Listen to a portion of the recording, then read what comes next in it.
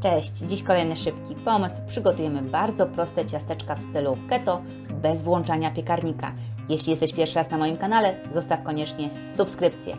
Łączymy mąkę migdałową, mąkę kokosową, dodaję słodzik, rozpuszczone masło razem z miąższem kokosowym, szczyptę soli, teraz masło orzechowe, może być z kawałkami orzechów i łączymy do uzyskania jednolitej masy. Z masy lepię kuleczki, które lekko spłaszczam. Ulepione ciasteczka wstawiam do lodówki, żeby zastygły. W tym czasie rozpuszczam czekoladę i siekam orzechy. Ja tym razem wykorzystałam orzechy pekan, ale mogą być dowolne. Ciasteczka zanurzam w rozpuszczonej czekoladzie, obtaczam z wierzchu albo posypuję orzechami i ponownie do lodówki, żeby polewa zastygła. Proste, szybkie, można przygotować i mieć jako dodatek do kawy lub lunchboxa według uznania.